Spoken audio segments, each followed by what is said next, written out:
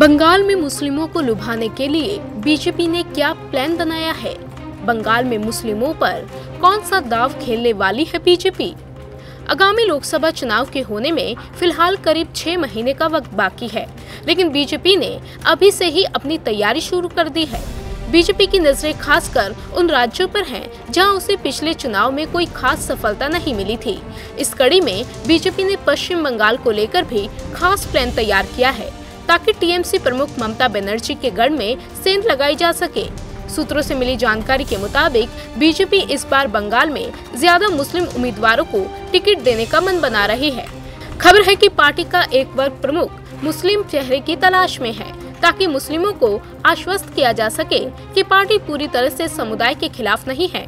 कहा जा रहा है कि एक पूर्व मंत्री को यहाँ से बीजेपी का मुस्लिम चेहरा बनाया जा सकता है। हालाँकि बीजेपी के एक नेता ने बताया कि पिछले लोकसभा चुनाव में यहाँ से दो मुस्लिम उम्मीदवारों को टिकट दिए गए थे, लेकिन इस बार बीजेपी यहाँ संख्या बढ़ा सकती है।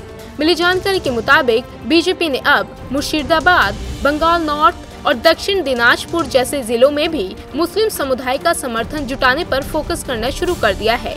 खबर है कि 5 दिसंबर को होने वाली रथ यात्रा के बाद बीजेपी अल्पसंख्यकों के लिए शहर में एक मेगा आयोजन करने की तैयारी कर रही है।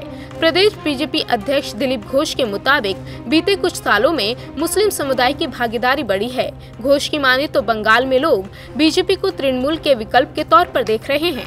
प्रदेश में जिन जगहों पर मुस्लिम आबादी ज़्यादा है, वहाँ भी बीजेपी मज़बूत हुई है। आपको बता दें कि 2011 की जनगणना के मुताबिक पश्चिम बंगाल में मुस्लिम आबादी सत्ताईस दशमलव एक फ़ीसदी है। ऐसे में मुस्लिम आबादी को नजरअंदाज करना बीजेपी को भारी पड़ सकता है। यही वजह है कि पार्टी ने ये दाव अपनाया है।